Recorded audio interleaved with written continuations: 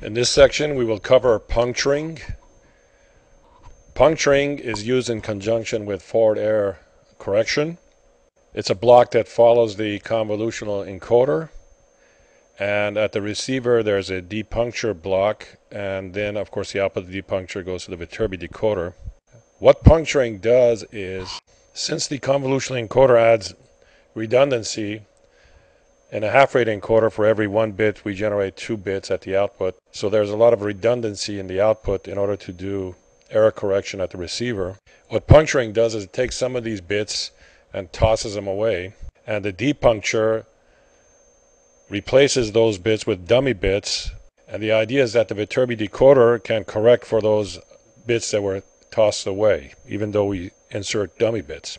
The Viterbi decoder is very good at correcting errors, and these are placed in certain positions that are not adjacent and may look like random errors, and the Viterbi decoder goes ahead and corrects those. So what do we gain by using puncturing?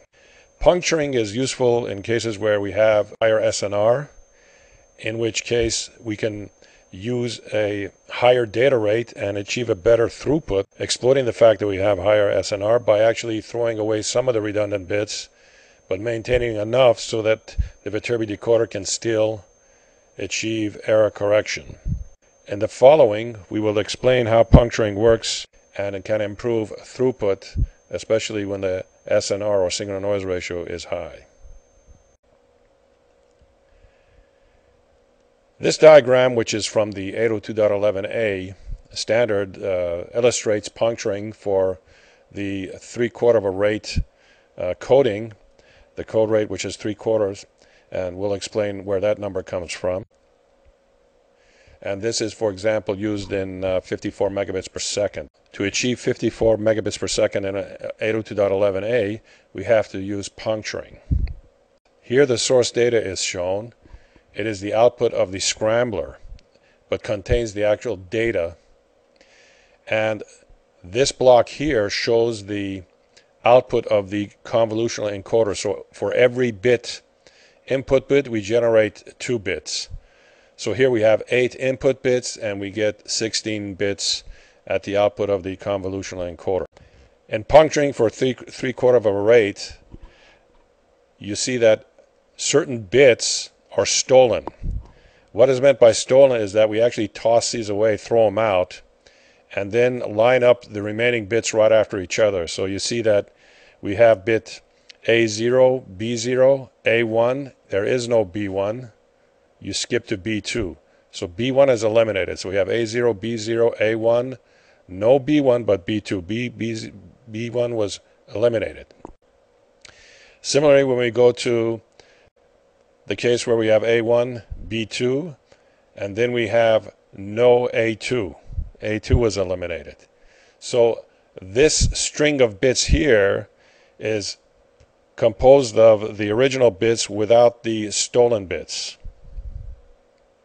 And now at the receiver, we know exactly where we stole the bits or threw them away. So at the receiver, when we receive this sequence here, we insert the a dummy bit for each bit that was stolen, and these dummy bits could be zero, for example. And we get the original uh, half rate coded bits, but of course with errors because these are inserted dummy bits. So the Viterbi decoder can actually correct the sequence even with the dummy bits and derive the correct input message using the Viterbi decoder, obviously. This is due to the fact that the Viterbi decoder is, is very good at correcting for random bits and also has an effective, uh, effectively large dmin. And in this case, we obviously need to use a Viterbi decoder with a longer uh, traceback buffer. So here we get the decoded data.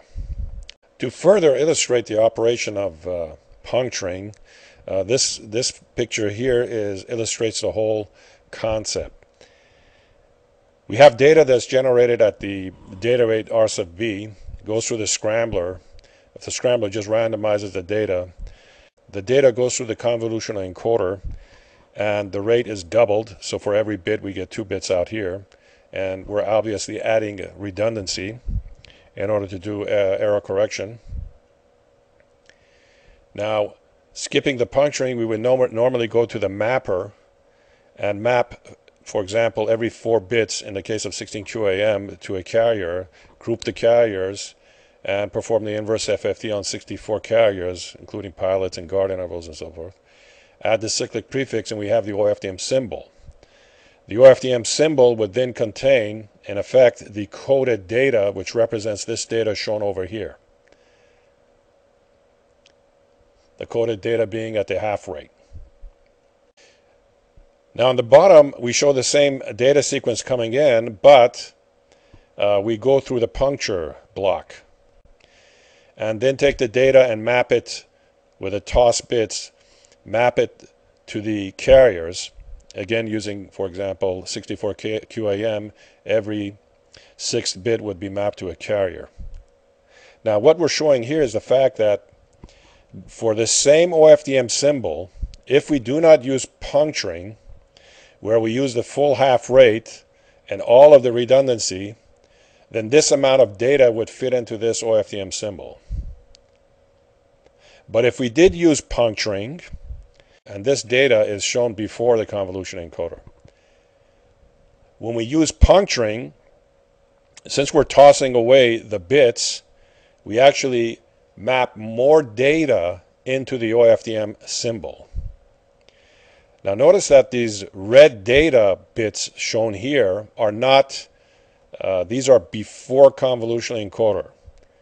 So by actually puncturing or tossing away those stolen bits, we're actually allowing for more data to fit within the OFDM symbol compared to the case where we have no puncturing at all.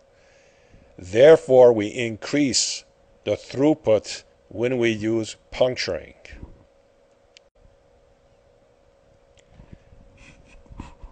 Here we have an example of a convolutional encoder output, which is a sequence of uh, bits.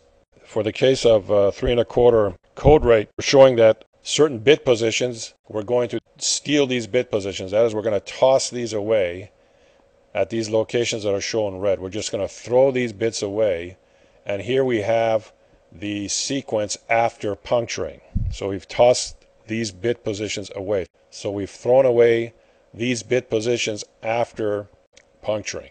Then we take the sequence and map them to the carriers, all 48 carriers for 64 QAM in this case. At the receiver, once we decode the bit stream out of the demapper, we know exactly what positions we stole the bits from, so we insert dummy bits in those positions. And we recover with, albeit errors, due to the dummy bits, the original uh, coded bit stream. And this is the coded bit stream that is input to the Viterbi decoder. And the Viterbi decoder will actually correct, in a high SNR situation, correct for these dummy bits and decode the message. Let's go over how we get the coding rate, again with puncturing. Here's the source data we have 9 bits. The 9 bits are input to the convolution encoder, which is a half rate encoder, so we get 2 times 9 bits or 18 bits with the convolutional encoder. This of course includes all the redundancy. Now in puncturing we take in this case 6 bits and we toss them away. These are stolen bits. So we are left with 18 minus 6 or 12 bits. So we have 12 bits here. So for every 9 bits, we get 12 coded bits. So we take the ratio 9 over 12 and we get a 3 and a quarter rate. In the case of a two-third code rate, we have here 6 bits. Going through the convolution encoder, we get 12 bits. We're tossing away 3 bits, so we're left with 9 bits. So you take the ratio between 6 and 9 bits and you obtain the 2 and a third coding rate. This table shows the parameters for 54 megabit per second in 802.11a. So the data rate that we want to achieve is 54 megabits per second. The modulation is using 64 QAM. So every 6 bits is mapped to a carrier. Our target code rate is 3 quarter, 3 and a fourth. The number of coded bits per subcarrier is 6 because the subcarriers recall that every 6 bit out of the convolution encoder, and in our case following the puncturing, is mapped to a carrier every 6 bit. We have 48 carriers per OFDM symbol. Each carrier carries 6 bits, so the total number of bits, coded bits per OFDM symbol is 288. In the case of puncturing with uh, 3 and a quarter, the actual number of data bits in the OFDM symbol is 216 data bits. Now, if we did not do any puncturing, then recall that every bit created two bits at the output of the convolution encoder, and we had a lot of redundancy, whereas in the case of three and a quarter coding rate, we're actually reducing the redundancy, but not at the expense of error correcting capability by the Viterbi decoder. So as we showed over here, in this example here, we will have more data in the OFDM symbol due to puncturing in this case. If we did not do any puncturing, then the amount of data bits within the OFDM symbol would only be 144 and our coding rate would be one half. In the case of 802.11a, we have 288 coded bits per OFDM symbol. Now, this includes, for the case of 54 megabits per second, this includes puncturing. We have 288 coded bits per OFDM symbol, including puncturing.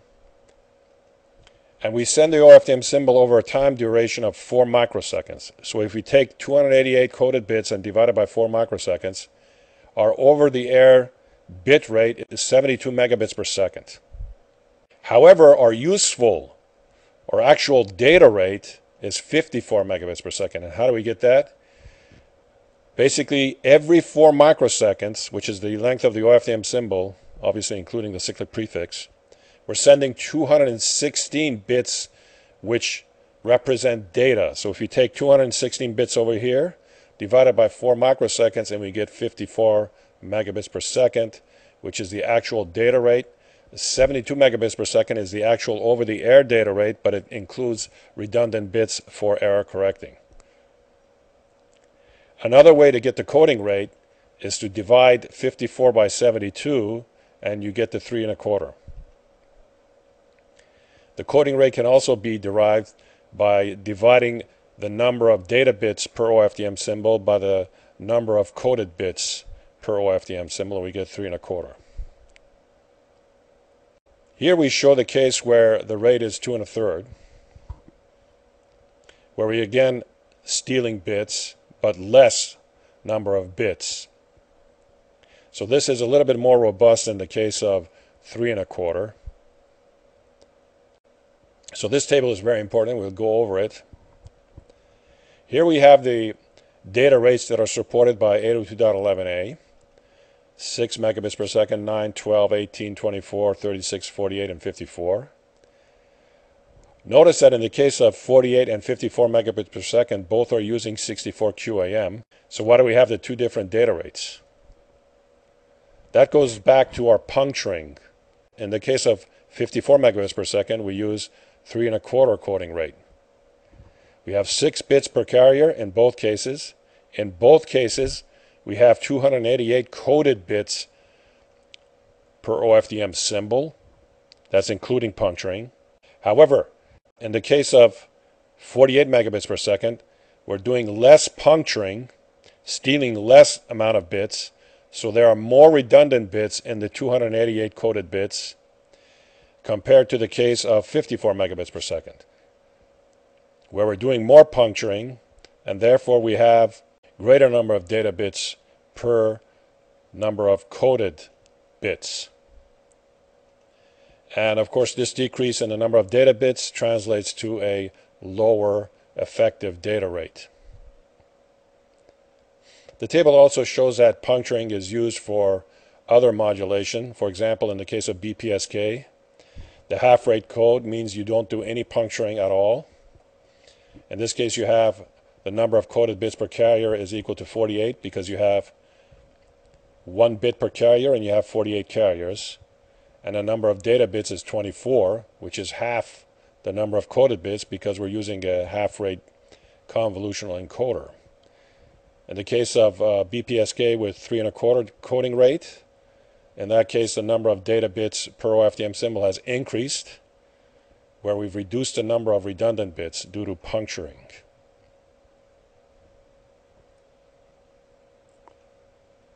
Issues. When you use puncturing, typically you would achieve higher throughput, but you have to have a higher SNR compared to the case where you don't use puncturing. That means that and this comes in handy when, when you're closer to an access point, for example, and you can take advantage of a higher rate using puncturing because your signal to noise ratio is high. Obviously, the further you're away from the access point, then you would have to actually reduce the rate and go to a case where you use less, less puncturing. As we mentioned, because puncturing actually steals bits that the Viterbi decoder has to correct when you insert the dummy bits, then that requires that the Viterbi decoder use a longer traceback depth. So when you implement it in hardware, this translates to a more, more hardware complexity for the Viterbi decoder. Otherwise, you have a nice selection of data rates and you can, using puncturing, you can take advantage of cases where you're near the access point to increase the throughput of your wireless communication link. Here we have a table which shows the free distance for the Viterbi decoder for half-rate convolutional encoder and it shows that the free distance for a half-rate convolutional encoder with constraint length k equals 7 is 10 which indicates how powerful the convolutional encoder combined with the Viterbi decoder is in terms of correcting for errors in the channel. The higher the free distance, the better the error correcting capability of the encoder and decoder in the FEC. Now, when we do puncturing, as we mentioned, you throw away redundant bits and therefore you increase the throughput or bit rate and you usually do puncturing when you have a higher signal to noise ratio. By throwing away bits and reinserting dummy bits at the receiver, we expect to lose some performance. And this is shown here where for the case we, where we have a rate of two and a third and we're using puncturing, the free distance has decreased from 10 to 6. And this is showing that, in fact, by using puncturing, we are losing some of the capability to correct for errors.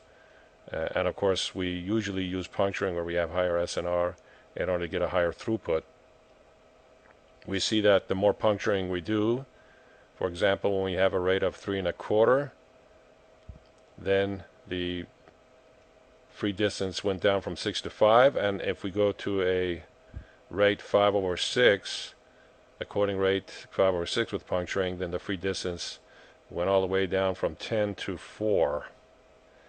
But by the way, this table is uh, table 116AF, which is in the IEEE 802. 16A standard and it is very informative in terms of the performance of the convolution encoder with Viterbi decoder with constraint k equals 7 with puncturing and different coding rates.